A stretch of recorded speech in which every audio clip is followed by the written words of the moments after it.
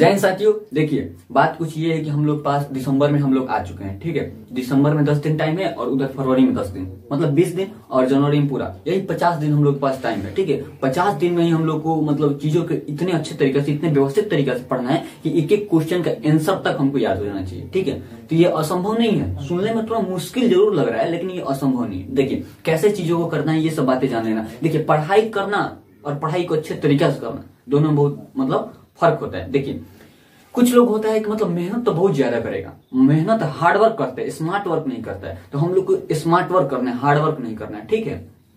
हम लोग पास टाइम कम है। देखिए, हम लोग को पचास दिन है, ठीक है? पचास दिन। हम आपको बता रहे हैं कि दस दिन में अगर आप क्वेश्चन बैंक बनाना स्टार्ट करते हैं, दस से बारह दिन में तो कैसे मतलब पूरे क्वेश्चन बैंक को अच्छे तरीके से बना सकते हैं। देखिए बेसिकली आप 10 साल का क्वेश्चन बैंक बना लेंगे मैथ में तो उससे आपका मतलब 100 परसेंट क्वेश्चन उसमें से ही आएगा, ठीक है? देखिए, अगर आप एक दिन में एक साल का बनाते हैं, एक दिन में एक साल का अगर एक सेट बना लेते हैं तो दस दिन में कितना साल का बनाइएगा दस साल का। दस दिन के अंदर आपको दस साल मैथ खत्म हो गया। चलिए मैथ बनाने के बाद एक सब्जेक्ट कोई उठाइए, दो घंटा लगेगा, दो से तीन सब्जेक्ट उसमें निकल जाएगा आपका, ठीक है? दो से तीन सब्जेक्ट दो घंटा में निकल जाएगा विथ मैथ मैथ को अगर दो घंटा में नहीं होता है तो उससे थोड़ा और टाइम ले लीजिए। तीन से चार घंटा करिए। चार घंटे में सब सब्जेक्ट हो जाएगा आपका। देखिए, अगर चार घंटे क्वेश्चन बैंक को डेली देते हैं दस दिन तक मतलब आपका चालीस घंटा हुआ, ठीक है? तो आपका क्वेश्चन बैंक एक बार आराम से बन जाएगा, ठीक है? और हम लोग के पास अभी कितना दिन है? पचास दिन करीब करीब। तो कितना बार मैक्सिमम क्वेश्चन बैंक बना सकते हैं जी? कितना बार? पाँच बार।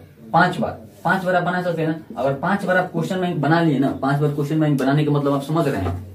पाँच बार क्वेश्चन बैंक बनाने के बाद आपको पूरा एक एक क्वेश्चन उसका याद हो जाएगा। और मैथ में जितने भी प्रश्न आएँगे ना, देखिए, प्रश्न कैसे आते हैं? उतना मुश्किल प्रश्न नहीं है। सभी प्रश्न आसान ही आते हैं, लेकिन मतलब आप देख के घबरा जाते हैं लोग। देख के घबरा जाते हैं लोग, जिस कारण से आप लोग का नंबर कट जाता है। या फिर देखिए प्लस माइनस हो जाती है इधर उधर करते करते आप लोग का नंबर कटने लगता है। पहले दिन अगर मैथ के एग्ज़ाम हो तो उसमें घबराना नहीं है। एकदम बिल्कुल नहीं घबराना, एकदम रिलैक्स होकर जाना है। ठीक है?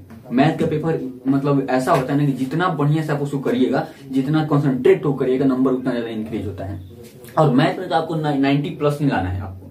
जितने भी छात्र हमारे चैनल से जुड़ के पढ़ रहे हैं, उनको तो कम से कम 90 प्लस ही लाना है, वरना इस चैनल से जुड़ने का उनका कोई फ़ायदा नहीं। आप यदि हमारे चैनल से जुड़ के पढ़ रहे हैं तो आपको 90 प्लस लाना ही होगा, किसी भी हाल में। पढ़ के लाना होगा, ठीक है? तो हम मतलब आप समझ गए होंगे कि क्वेश्चन बैंक को कैसे करना है, चीज़ों कैसे बनाना है। चलिए, इतना ही करके हम लोग वीडियो को खत्म करते हैं। अगर मतलब इस वीडियो से आपको थोड़ा सा भी कुछ नॉलेज हुआ हो तो आप हमारे वीडियोज़ को लाइक कमेंट और सब्सक्राइब कर दीजिए। हम लोग ऐसे ही क्लासेस यूट्यूब पे देते रहते हैं रेगुलर और आप लोग के एग्ज़ाम का एक बेहतरीन तैयारी कराते हैं, ठीक है? तो हम लोग मेहनत के लिए अगर आपको इच्छा हो तो एक लाइक और एक सब्सक्राइब